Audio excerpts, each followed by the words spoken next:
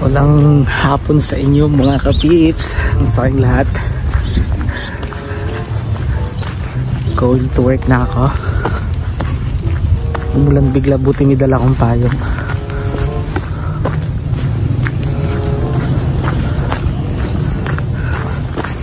Hindi ako nagbike kasi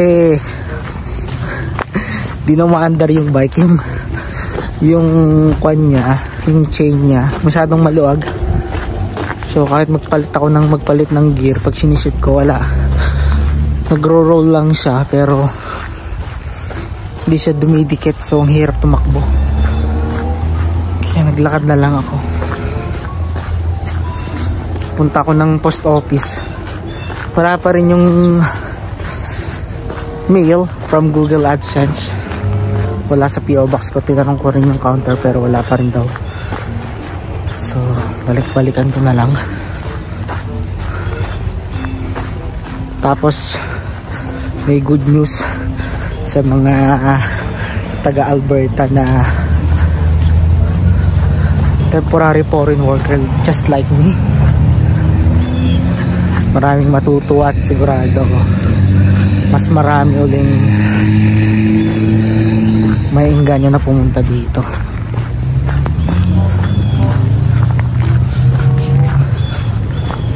Kasi nung last time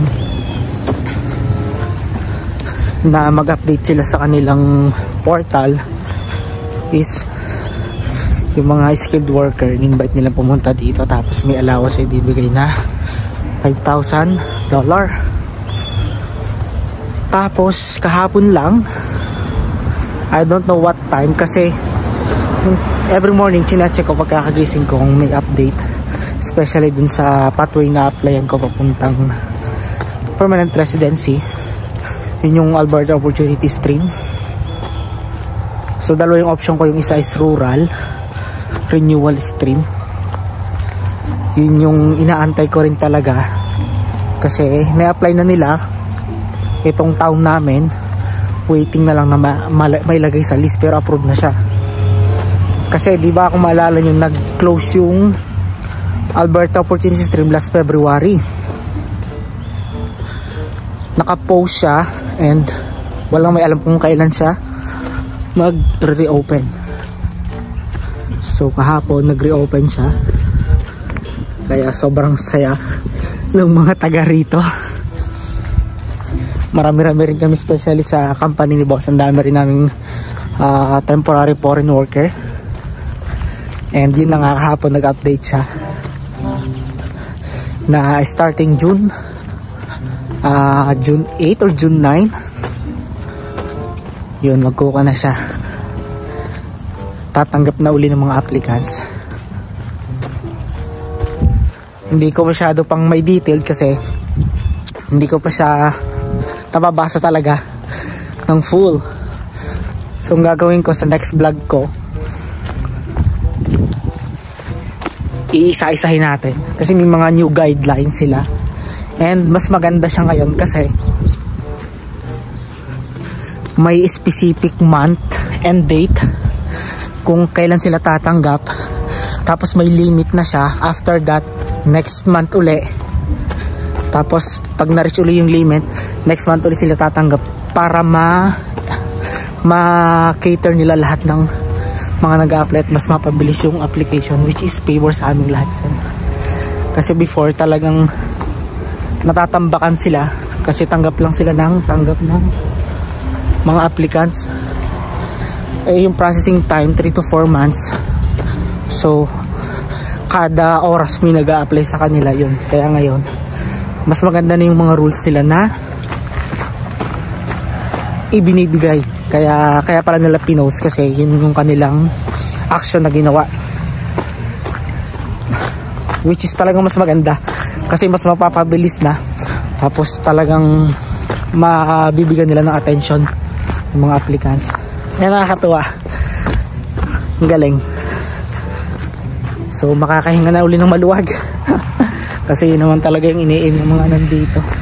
Especially us na foreign worker. Ang mga hindi pa PR katulad ko yan. Kita nyo medyo basa-basa na naman. Maambon siya. Tapos madilim yung paligid. Ayan kita nyo yung langit oh. Papatak na naman. Alay na naman yung kamay ko. Naiwan ko na naman yung tripod lagi ko nakakalimutan hmm, yun yung paligid ko ngayon madilim oh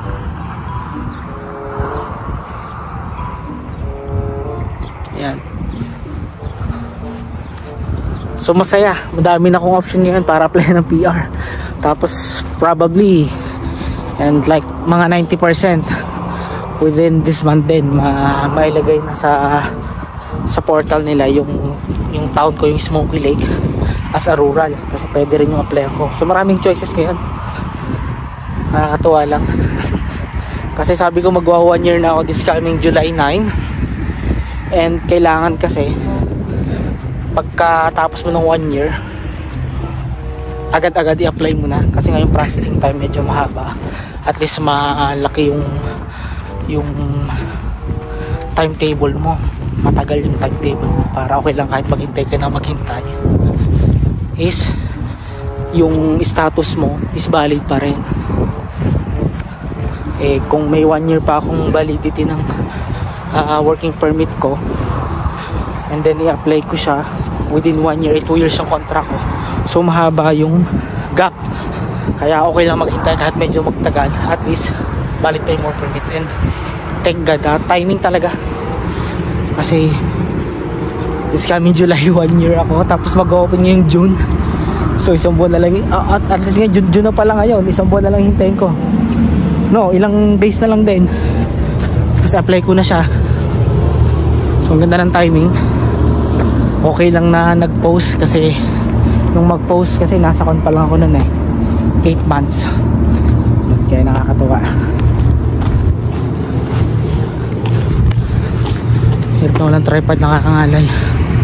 So yun in-update ko kayo tapos probably by tomorrow yan open ko yung portal ko sa Alberta kasi may account ako doon tapos papakita ko sa inyo share ko sa inyo yung mga update tapos yung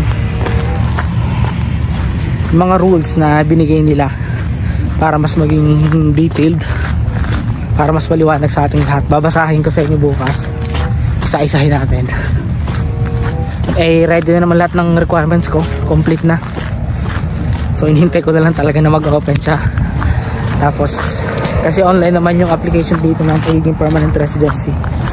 Kaya yun yung gagawin natin. Sapasahin lupa.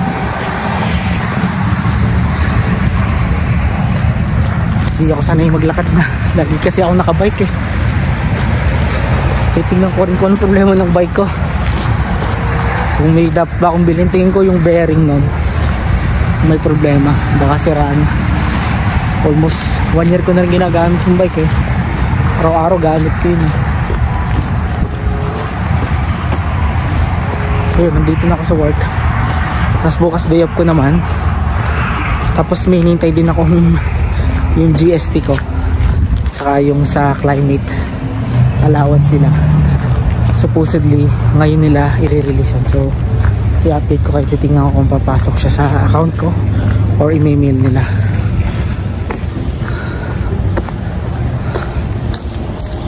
Yun lang muna mga kapiks ayan basang basa yung paligid ko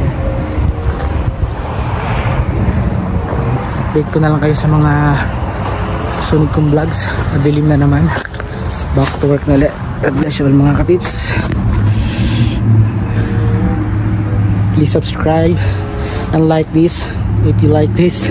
God bless you all